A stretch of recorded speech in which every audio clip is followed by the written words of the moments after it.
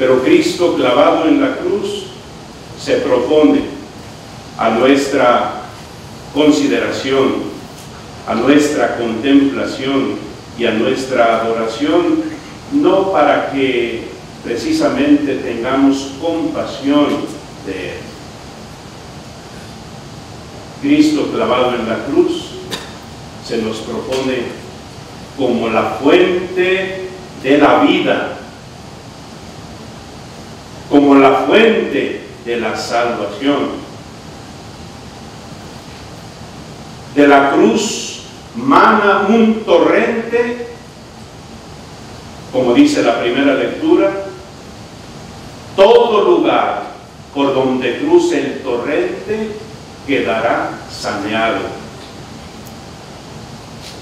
Y por donde pase el torrente, prosperará la vida. Este es el misterio que nosotros celebramos en el triunfo pascual. Cristo muerto, crucificado y muerto en la cruz por nuestra salvación. Lo peor que nos puede pasar en este mundo es que vivamos la vida sin vivirla.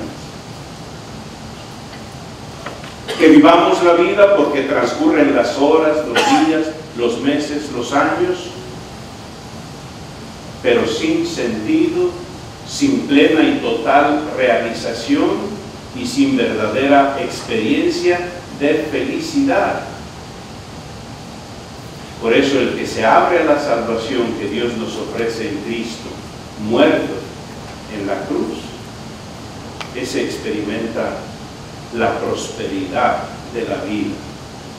Acerquémonos a la fuente de la vida que es la Eucaristía y que la vida se renueve, que renueve nuestro entusiasmo, nuestra vocación, nuestros proyectos, nuestros anhelos, ilusiones y todo, todo lo que está enfermo en nosotros se vea aniquilado, se vea saneado.